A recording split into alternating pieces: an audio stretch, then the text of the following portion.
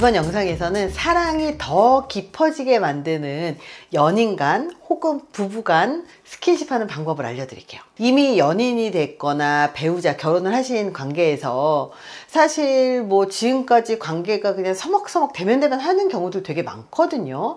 처음에는 엄청 열렬하게 사랑을 했다가 좀 시간이 지나서 대면대면 하거나 우리 장기 연애하는 커플들 같은 경우는 그냥 뭐 되게 기계적으로 그냥 만나는 경우들 되게 많잖아요. 그래서 이번 시간에는 좀 너무 좀 오래 만나서 데면데면 재미없거나 그리고 좀 지겨워진 커플을 위해서 스킨십을 어떻게 활용을 하세요 라고 하는 관점에서 스킨십을 얘기를 좀 해드리려고 합니다. 우리가 사실 관계, 특히 남녀 관계에서 종종 놓치고 있는 게 뭐냐면 이렇게 스킨십이라고 하는 게 관계에서 얼마나 중요한지를 자꾸 잊어버리고 있는 것 같아요. 말로만 애정 표현하는 것, 물론 사랑해, 좋아해, 뭐 보고 싶어 이런 멘트도 되게 중요해요. 하지만 관계에서 특히 남녀 간 부부 관계에서 진짜 중요한 게 이런 스킨십이거든요. 아주 사소한 터치가 사실 관계에서 변화를 만들어내는 게 굉장히 커요. 스킨십이 매력을 높이는 이유가 뭐냐면 연구에 따르면 이 스킨십은 상대방에게 호감을 심어줄 수 있는 되게 중요한 요소라는 거죠. 그래서 아주 간단한 스킨십이라든지 이런 부부 간의 연인 간의 스킨십이 상대방의 마음을 좀 더 깊게 만들 수 있는 굉장히 중요한 요소라는 거예요. 연구에 따르면 서로 스킨십을 나눈 커플 커플들의 심장 박동이 더 빨라지고 그리고 서로 좀 더 로맨틱한 그런 감정이 좀 더 강해진다는 연구 결과가 나왔습니다. 그리고 또 다른 연구에서는 간단한 스킨십이 상대방에게 신뢰와 호감을 증가시키는데 아주 효과적이다 이런 연구 결과가 있거든요. 그래서 이미 연인이거나 결혼하신 분들이 사실 스킨십이 좀 더 서먹해지고 멀어지고 그리고 요즘 지겨워 약간 이런 느낌이 든다면 한번 시도를 해봐야 될 것들 그래서 사랑이 더 깊어진 스킨십 방법 첫 번째가 뭐냐면 진심이 담긴 키스 혹은 뽀뽀예요. 형식적인 가벼운 입맞춤도 되게 중요하지만 깊고 진심이 담긴 키스도 굉장히 중요합니다. 사실 연애 오래 하고 그리고 결혼하고 몇 년만 지나도요 키스 잘 안 하거든요. 그래서 오히려 연애하는 관계에서는 키스도 하고 잠자리 하면서 키스도 하고 막 그러는데 부부지간에는 오히려 키스를 안 하는 커플 정말 많아요.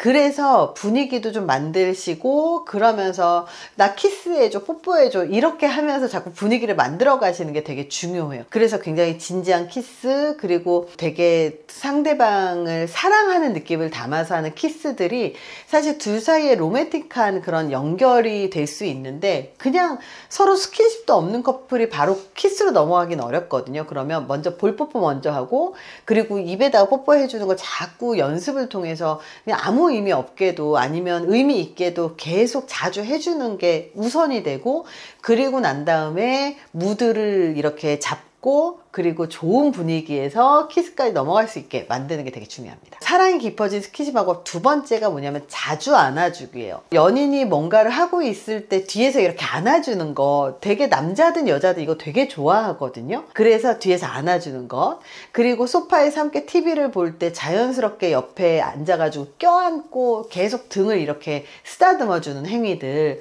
이런 것들이 사실은 상대방을 사랑하고 있다라고 하는 무언의 그 표현 방법이거든요. 거거든요. 그래서 서로의 존재, 서로의 사랑을 이렇게 스킨십이나 몸으로 느끼는 시간은 굉장히 중요합니다. 그래서 그냥 가만히 있더라도 어깨에 손도 올려주고 어깨도 손으로 이렇게 스킨십도 해주고 뒤에서 껴안아주고 볼에다 뽀뽀도 해주고 안아주면서 앞에서 껴안기도 하고 누워서 TV를 보면 그 위에 차푸덕 이렇게 엎어져서라도 껴안기도 하고 이런 것들이 모두 안아주는 행위들이기 때문에 자주 하십시오. 그러면 좀 더 친해지고 그리고 스킨십이 좀 더 익숙해질 겁니다. 사랑이 더 깊어진 스킨십 방법 세 번째가요. 마사지 해주기. 가벼운 목 마사지, 혹은 발 마사지, 손 마사지 이런 것이 이런 터치로 상대방의 피로도 풀어주고 그러고 이걸 통해서 상대방에게 행복감을 줄 수 있거든요.